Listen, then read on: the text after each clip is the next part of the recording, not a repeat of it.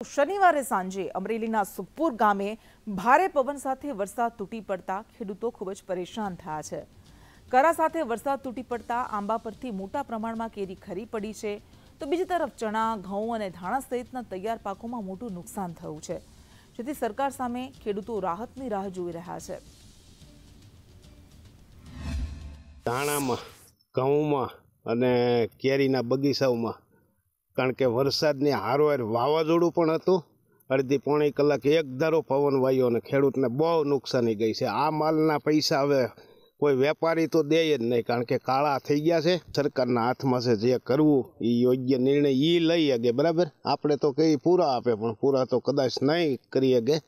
પણ થોડુંક વળતર આપે તો ખેડૂતોને રાહત રહે. કાલે વાવાઝોડા જેવો વરસાદ હતો બહુ અતિ પવન હતો અને તોફાન જેવું હતું એટલે નુકસાન બધું ખેતી પાકમાં બધું થયું છે. કેરીમાં કોઈ ધાણામાં ઘઉંમાં અને નુકસાન બહુ થયું છે. અન્ય પાકોમાં એટલે ખેતી પાકમાં બધામાં નુકસાની છે. સણ્યા છે કોઈ ધાણા છે ઘઉં છે અને બધું નુકસાની છે. અત્યારે રવિ પાકનું બધું નુકસાની છે. એક તો વરસાદ થાય ને એટલે ધાણા બગડે ઘઉં બગડે છીણા બગડે ને આ કેરીની સિઝન એટલે કેરી બગડે. અત્યારે પચાસ સાઠ ટકા જેવું ઓછામાં ઓછું નુકસાન છે. અને કરતાં વધારે હોય તો નાની. કારણ કે ઘઉં પલ્લી ગયા એટલે ધોળા થઈ જાય, ભાવ ન આવે. ધાણા બગડ્યા એટલે ભાવ ન આવે. છીણા તો પથારા હોય અને અચાનક વર્ષ તડકો શરૂ થાય એટલે મનુષ્ય ટપ ટપ તૂટવા. એટલે એ હાથમાં ન આવે. આમાં કંઈક સરકાર સમજે તો સારું સાળંગપુર બીએપીએસ મંદિર દ્વારા પાંચ વર્ષ બાદ યોજાનારા પુષ્પ દોલોત્સવ કાર્યક્રમને લઈને તડામાર તૈયારીઓ શરૂ કરવામાં આવી છે.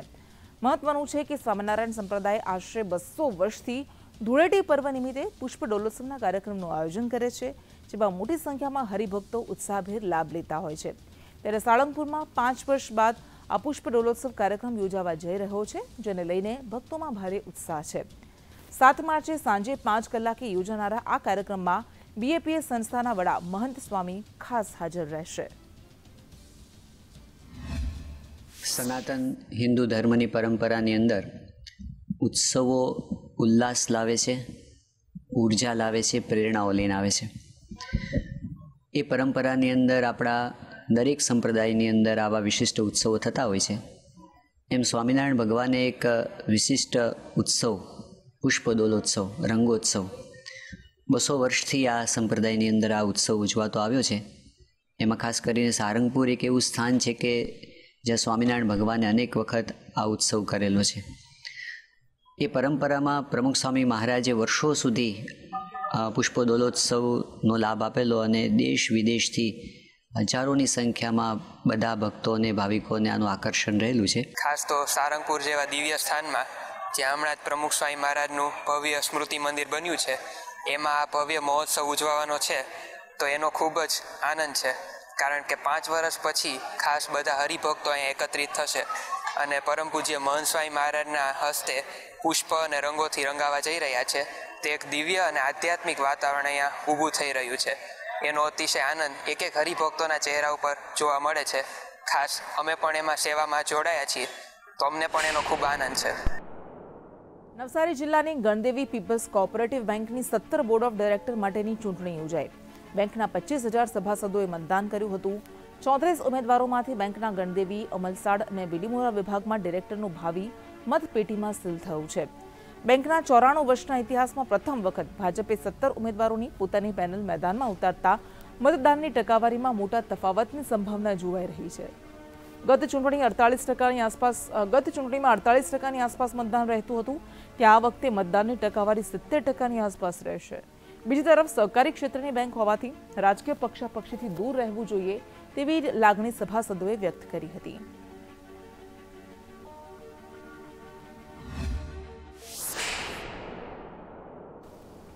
પોપ્યુલર બિલ્ડર્સના જમીન કૌભાંડના સાથે તેમના ભત્રીજા અને હવે તેમના શાળા પણ એ જ દિશામાં આગળ વધ્યા.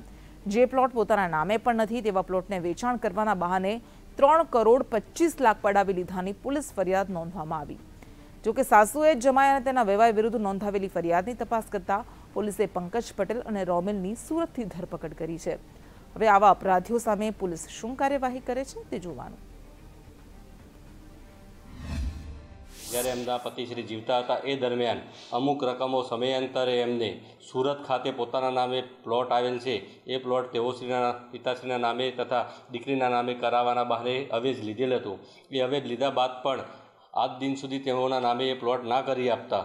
છેતરપિંડી ચારસો છ ચારસો વીસ અને પૂર્વયોજિત કાવતરાના કલમો સાથે અત્રે સેટેલાઇટ પોલીસ સ્ટેશનમાં ગુનો દાખલ કરવામાં આવેલ, જેમાં માલવ પંકજભાઈ પટેલ, પંકજભાઈ હાદીભાઈ પટેલ તથા એમના દીકરા રોમિલ પંકજભાઈ પટેલ વિરુદ્ધ કરવામાં આવેલ, જેમાંથી સુરત ખાતેથી બે આરોપીને મેળવી અને અટકાયત કરી તેમની આગળની કાર્યવાહી હાલમાં ચાલુમાં છે.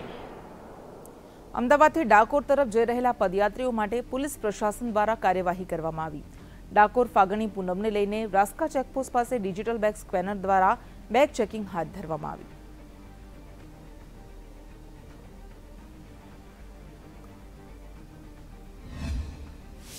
ડાકોર પદયાત્રીઓ છે, એમની સુરક્ષા બની રહે અને એના માટે અમારી જિલ્લા પોલીસ સતર્ક છે. મહેમદાવાદ પોલીસ સ્ટેશન વિસ્તારમાં પચીસ કિલોમીટર જેટલો રૂટ રાસ્કાથી શરૂ કરી ખાતરસ સર્કલ અને ત્યાંથી સિંહુજ ચાર રસ્તા સુધીનો છે. બસો પંચોતેરથી વધુ પોલીસ જવાનો, હોમગાર્ડ, જીઆરડી અને પોલીસ અધિકારી સુરક્ષા માટે રાઉન્ડ ધી ક્લોક ફરજ બજાવી રહ્યા છે. અમદાવાદમાં પ્રકૃતિ પ્રકૃતિ અને પર્યાવરણના રક્ષણ માટે પ્રાકૃતિક રંગો સાથે વૈદિક હોળી ઉજવાય છે. પરંતુ વૈદિક હોળી કેવી હોય છે? શું મહત્વ છે? જોઈએ આ વિશેષ રિપોર્ટ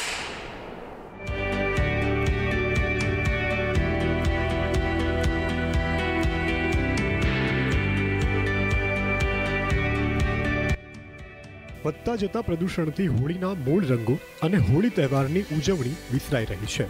જો કે વૈદિક હોળી થકી આરોગ્ય અને પર્યાવરણનું રક્ષણ માટેના પ્રયાસો પણ થઈ રહ્યા છે. આજે સરખેજ પાસે ગૌતીર્થ વિદ્યાપીઠે વર્ષોથી વૈદિક હોળીની પરંપરા જાળવી રાખી છે.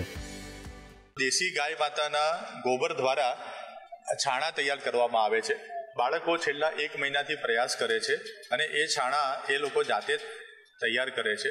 અને એ છાણાના માધ્યમથી અને નવ ગ્રહોની સંવિધાઓના માધ્યમથી આપણે વૈદિક હોળી પ્રજ્વલિત કરીએ છીએ અને એમાં વિવિધ પ્રકારની ઔષધિઓ, જેવી કે હવન સામગ્રી છે, એમાં તમાલપત્ર છે, તજ છે, લવિંગ છે અને એવી અંદાજે છત્રીસ પ્રકારની ઔષધિઓ અગ્નિની અંદર મંત્ર દ્વારા આહુતિ પ્રદાન કરવામાં આવે છે. અહીં ફક્ત વૈદિક હોળી જ નહીં, પરંતુ વનસ્પતિના રંગો સાથે તહેવારની ઉજવણી કરવામાં આવે છે. વિદ્યાપીઠના વિદ્યાર્થીઓ દ્વારા કેસુડાના ફૂલ સહિતની વસ્તુઓ સહિત પ્રાકૃતિક રંગો તૈયાર કરવામાં આવે છે.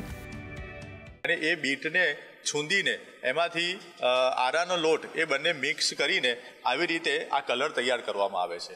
તો આ જે કલર જેને આપણે લગાવીશું ને, તો એનું પણ સારું થશે, એને પણ કોઈ ચામડીના રોગ ન થાય, અને એની જે સ્કિન જે છે એ એનાથી એકદમ સોફ્ટ વગેરે બધી થશે. તો એવી રીતે આ બીટમાંથી કલર બનાવેલો છે. આ ડોડીનું પાત- પત્તું છે, એ ડોડીના ફળમાંથી પણ કલર તૈયાર થાય છે. એ પણ બહુ જ પ્રાકૃતિક રંગ આમાંથી તૈયાર થાય છે.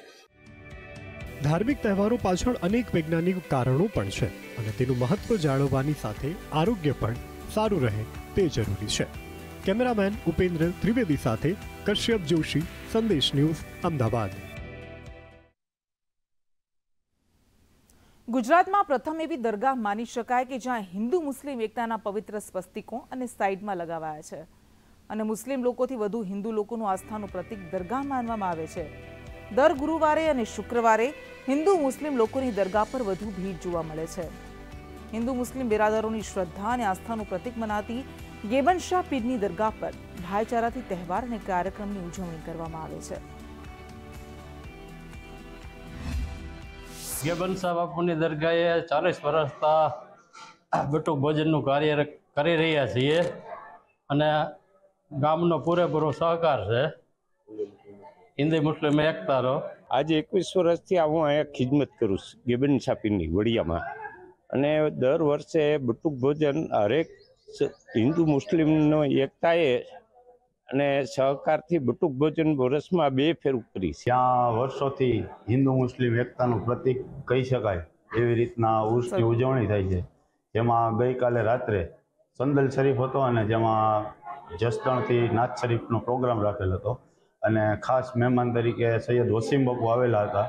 અને આજે સવારે સમસ્ત ગામના બાળકો તથા આજુબાજુના ગામડામાંથી પણ એ વર્ષોથી પરંપરાગત રીતે ચાલ્યું આવે છે એ રીતે બટુક ભોજન વર્ષોથી એટલે કે રાજાશાહી વખતથી ગેબનશાહ બાપુની પીરની દરગાહ છે.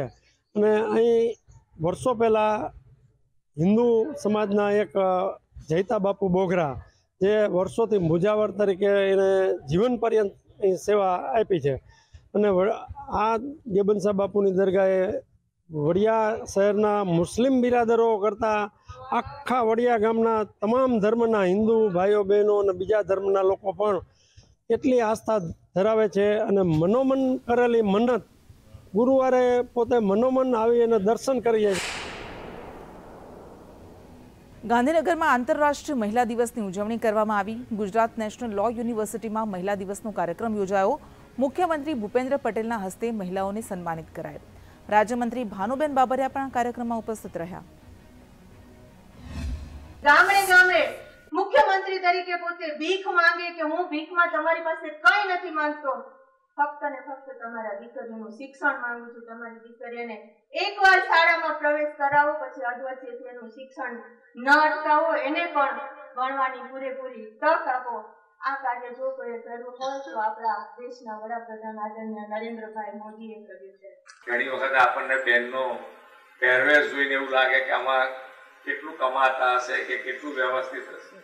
પણ આજે કરોડ કરોડ રૂપિયા બહેનો કમાઈ શકે એટલે આપણે ઘણી વખતે માન્ય નરેન્દ્રભાઈએ હર હાથ કો કામ અને હર કામ કા સન્માન. આ જે મંત્ર છે, એ મંત્રના આધારે આપણે કામ કરવા માંગીએ કે કોઈ કામ નાનું નથી. આપણે દરેક કામને સન્માન આપવું જોઈએ. કોઈ પણ બેન જે પણ કામ કરતી હોય, તો એ બેનને એની સન્માનની દ્રષ્ટિએ જોવું પડે કે આ બેન કોઈ તેડાગરના બેન હોય તો તેડાગરના બેન છે તો એ કામ કરે છે. સારું કામ કરી રહ્યા છે આપણને હેલ્પફુલ થઈ રહ્યા છે. તો એમાં આપણે એમની જે એમના માટે જોવાની આપણી જે દ્રષ્ટિ છે કે આ તો ઠીક છે નાનું કામ છે. ઠીક છે આ બેન બરોબર છે હવે આમાં આ બેન જ ચાલે. એવું ના હોવું. એવો વિચાર પણ ના હોવો જોઈએ એવો ભાવ પણ ના હોવો જોઈએ.